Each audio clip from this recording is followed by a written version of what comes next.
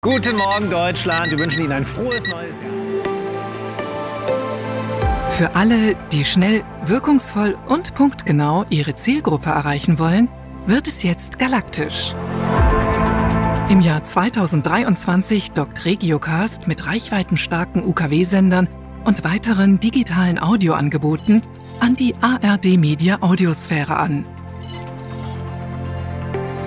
Das Vermarktungsportfolio wird durch neue Senderkonstellationen noch vielfältiger.